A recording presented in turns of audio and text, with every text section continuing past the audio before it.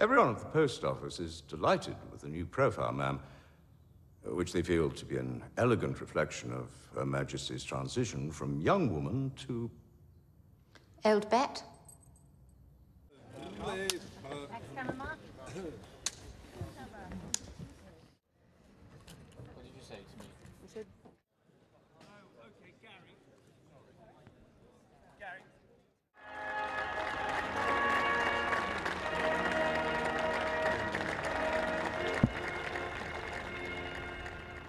Person made a vow in their 20s to serve their nation. She's done it. She's now in her 90s. She's extraordinary. Never stepped away from it. Yeah, I have to. I've become almost obsessed with her, which is amazing.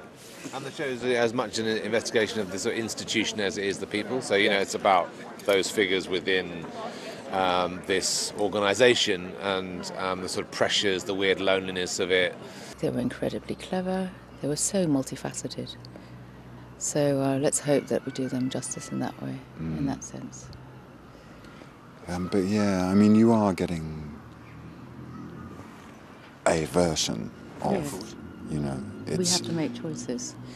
I think someone described it, which I thought was really good. It's like, um, as a writer, he he's a painter, so you get a version, his version, that we then Yeah. kind of fill out with our own kind of colours. But um, Like a colouring painting. it's not- One, yeah. two, three. yeah, by numbers. I do a Colour lot by of numbers.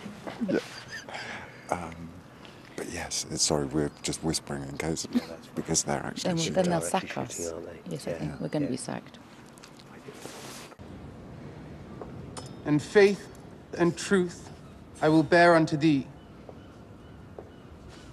to live and die against all manner of folks,